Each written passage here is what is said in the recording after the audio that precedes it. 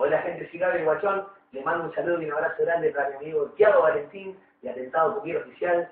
Solo no de la cumbia guachona lo puedes ver y escuchar de la mano de mi amigo Tiago Valentín de Atentado Cupiero Oficial.